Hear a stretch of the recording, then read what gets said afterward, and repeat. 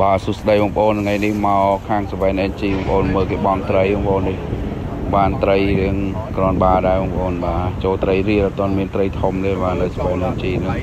តែមានអ្នកបងច្រើនបងប្អូនអ្នកបងច្រើនបាទបងបងគាត់អឺពងកបងបាទនេះច្រើនមែនតើបាទហើយអត់ទាន់ចូលត្រីធំទេខ្ញុំសួរគាត់ដែរណាបង2 3ថ្ងៃទេតែត្រីតូចតូចទេទឹកទំឡើងបងប្អូនបាទនេះ ច្រើនមែនតើបាទខាងក្រោមហ្នឹងចាជាង10នាក់ដែរបងប្អូនបាទហើយមានអ្នកស្ទូចមានអ្នកបងយើងទៅបាទទឹកឡើងខ្លាំងមែនតើបងប្អូននៅអាកន្លែងទំនប់ទៅវិញជីហ្នឹងបាទនេះឈប់បងធ្វើរៀនបងបងប្អូនបាទគឺអឺមានអ្នកបងច្រើនអ្នកស្ទូចក៏ច្រើនដែរបាទនេះគាត់ពងដល់ចាប់តំណាញ់បោះចាប់បោះចាប់បោះហើយបងប្អូនអើយ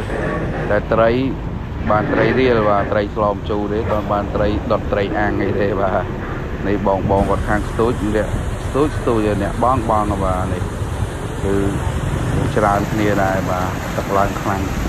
តែអត់តន់ត្រូវត្រីបាទនេះបងចាំត្រីបងប្អូនបាទនេះដាក់ឆ្វាច់ឆ្វាច់ទៅបាទបាទអញ្ចឹងបងប្អូនដែលចង់បងចង់ស្ទួយឯងអាចមកបាន 7G បាទអរគុណច្រើនជម្រាបលាបាទ